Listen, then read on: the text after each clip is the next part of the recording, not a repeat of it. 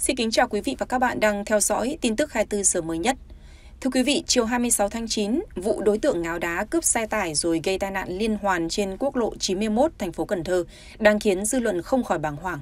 Theo lời kể của nhân chứng, trước khi bị bắt, tài xế phê ma túy đã cố thủ trên xe, mặc cho lực lượng chức năng bên ngoài ra sức vận động. Công an thành phố Cần Thơ đã chặn bắt, khống chế thành công đối tượng Tống Văn Hoàng Tuấn, 31 tuổi, ngụ tỉnh Vĩnh Long.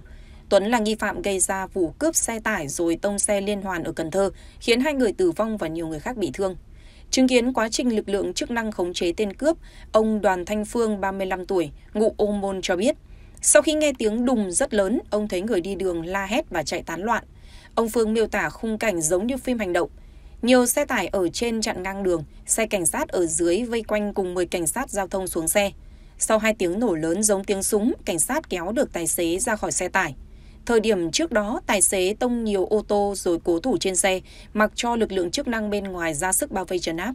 Ông Phương nhớ lại, nghi phạm rất cố chấp, công an truy bắt và người dân cũng phá kính để kéo hắn ra khỏi xe, nhưng hắn vẫn không chịu đầu hàng, nhất quyết ngồi trong xe. Khoảng 12 giờ 30 phút trưa ngày 26 tháng 9, sau khi sử dụng ma túy, Tống Văn Hoàng Tuấn từ Vĩnh Long sang Cần Thơ cướp ô tô tải mang biển kiểm soát 84C04469 rồi bỏ chạy theo tuyến quốc lộ 91 hướng từ quận Bình Thủy đi quận Thốt Nốt. Trên đường tàu thoát, Tuấn đã va chạm với nhiều ô tô xe máy của người tham gia giao thông trên địa bàn phường Châu Văn Liêm và phường Long Hưng, quận Ô Môn. Khi đến đoạn đường thuộc phường Châu Văn Liêm, quận Ô Môn, Tuấn tông vào xe máy của anh Lê Quốc Huy, 32 tuổi, ngụ An Giang, và Dương Hoàng Phúc, 21 tuổi, ngụ quận Thốt Nốt, thành phố Cần Thơ, điều khiển cùng chiều. Va chạm khiến hai người đi xe máy bị thương. Sau đó Tuấn tiếp tục bỏ chạy đến khu vực Thới Hưng, phường Long Hưng, quận Ô Môn, thành phố Cần Thơ, tông vào xe máy của anh Nguyễn Thanh Tao, 34 tuổi, ngụ quận Ô Môn, thành phố Cần Thơ điều khiển ngược chiều. Ô tô do Tuấn lái đã kéo lê nạn nhân một đoạn rồi tiếp tục tông vào xe máy do ông Nguyễn Văn Rơi, 54 tuổi, ngụ phường Long Hưng, quận Ô Môn điều khiển. Hậu quả anh Nguyễn Thanh Tao tử vong tại chỗ, ông Rơi bị thương nặng, được đưa đi cấp cứu và tử vong sau đó. Về tài sản có 7 ô tô bị hư hỏng, 3 xe tải, 4 ô tô con và 6 xe máy. Trong đó địa bàn quận Thốt Nốt có 3 vụ khiến hai người bị thương, một cán bộ công an phường Thốt Nốt hư hỏng một ô tô. Quận Ô Môn xảy ra hai vụ khiến một người tử vong, ba người bị thương, hư hỏng 4 xe mô tô. Còn tại quận Bình Thủy xảy ra một vụ khiến một người bị thương, 6 xe hư hỏng, 3 xe tải, 3 ô tô con. Ước tính thiệt hại ban đầu gần 600 triệu đồng. Ngay sau khi nhận tin báo, giám đốc công an thành phố Cần Thơ đã chỉ đạo lực lượng truy bắt được người và phương tiện gây tai nạn. Kết quả xét nghiệm nhanh cho thấy đối tượng Tuấn dương tính với ma túy. Thời gian qua trên cả nước liên tiếp xảy ra các vụ việc, một số đối tượng lên cơn loạn thần không làm chủ được hành vi, gây tổn hại đến sức khỏe, tinh thần người khác. Điển hình vào năm 2022, cũng trên địa bàn thành phố Cần Thơ ghi nhận trường hợp một ngáo đá cướp xe cấp cứu rồi lái xe gây náo loạn nhiều tuyến đường. Chiều 15 tháng 6 năm 2022, Công an quận Ninh Kiều, thành phố Cần Thơ cho biết đã khống chế thành công đối tượng ngáo đá và đã đưa vào bệnh viện điều trị. Theo thông tin ban đầu, khi được đưa về trụ sở công an, người này vẫn còn biểu hiện ngáo đá, khai báo lung tung và trên người cũng không mang theo bất kỳ giấy tờ tùy thân nào.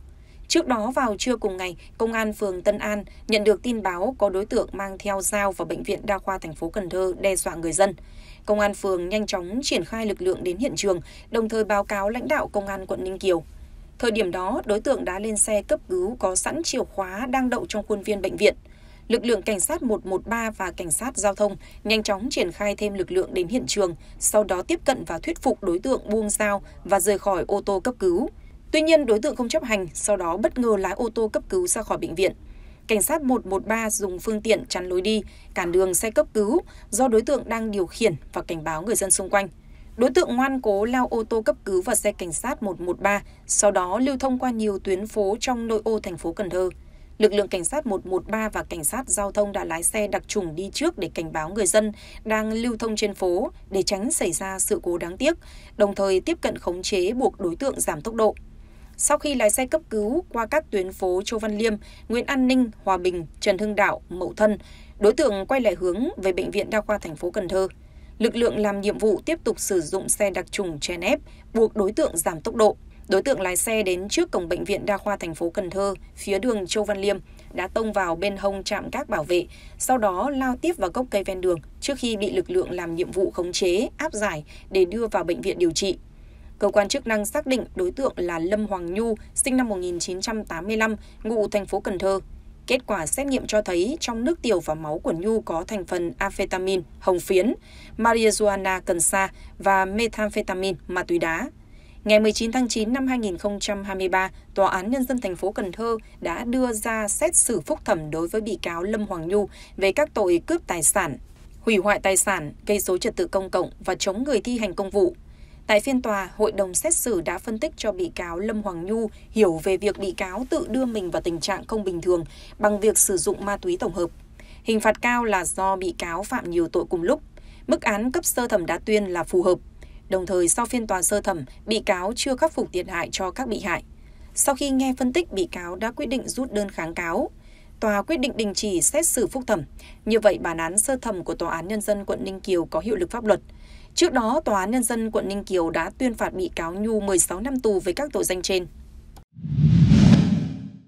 Tháng 3 năm 2024, tại Tiền Giang xảy ra vụ một đối tượng nghi ngáo đá, cầm dao xông vào trường mầm non khống chế cháu bé. Làm việc tại cơ quan điều tra, bước đầu người này khai nhận nguyên nhân là do mâu thuẫn trong cuộc sống gia đình. Trưa mùng 1 tháng 3 năm 2024, thông tin từ công an thành phố Mỹ Tho Tiền Giang cho biết, người đàn ông cầm dao nhọn xông vào trường mầm non tuổi thần tiên tên là NBQ, 37 tuổi, ngụ khu A thị trấn Lịch Hội Thượng, huyện Trần Đế Sóc Trăng, là lao động phổ thông đi làm việc ở nhiều nơi và có thời gian về sinh sống tại Mỹ Tho. Đối tượng BQ khai nhận chung sống với một người phụ nữ tại thành phố Mỹ Tho như vợ chồng, có một con chung còn nhỏ tuổi. Khoảng 20 giờ ngày 29 tháng 2 năm 2024, Đi làm về, đối tượng Quy gặp vợ con được một lúc thì xảy ra mâu thuẫn, dẫn đến cự cãi lớn tiếng. Bực tức đối tượng đưa con đi thuê phòng nghỉ khu phố 4, phường 5 thành phố Mỹ Tho để ngủ qua đêm. Gần 7 giờ ngày 1 tháng 3 năm 2024, ngủ dậy nhớ lại chuyện vợ lớn tiếng với mình, đối tượng Quy la lối trong phòng trọ rồi dắt con tới trường mầm non tuổi thần tiên dù con không học trường này. Vào bên trong cổng trường, đối tượng cầm con dao nhọn khống chế hai bé trong trường rồi cố thủ đến khi bị bắt giữ. Đại diện công an cho biết đã tiến hành test nhanh kiểm tra xem đối tượng có dương tính với chất ma túy hay không, đồng thời làm rõ thêm động cơ thực hiện. Các cháu bé ở trường đều được đảm bảo an toàn. Trước đó, gần 10 giờ ngày 1 tháng 3 năm 2024, hàng trăm người dân khu vực tuyến đường Đoàn Thị Nghiệp, phường 5 thành phố Mỹ Tho, Tiền Giang thở phào. Vui mừng khi biết cảnh sát hình sự tỉnh đã giải cứu thành công một bé trai đang ở trường mầm non tuổi thần tiên thì bị đối tượng ôm vào người khống chế.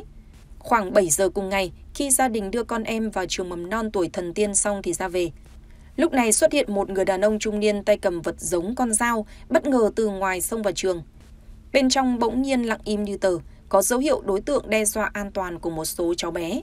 Nhận tin báo, hơn 20 chiến sĩ công an, bảo vệ dân phố nhanh chóng xuất hiện, phong tỏa hai đầu đường đoàn thị nghiệp, đồng thời tiếp cận tìm phương án đột nhập vào nơi đối tượng đang có hành vi, đe dọa tinh thần trẻ em và cô giáo. Rất đông phụ huynh đứng ngoài lo lắng cho con em, công an kêu gọi đối tượng bước ra ngoài. Thưa quý vị, chương trình của chúng tôi xin được kết thúc tại đây. Cảm ơn quý vị và các bạn đã dành thời gian quan tâm theo dõi. Xin kính chào tạm biệt và hẹn gặp lại.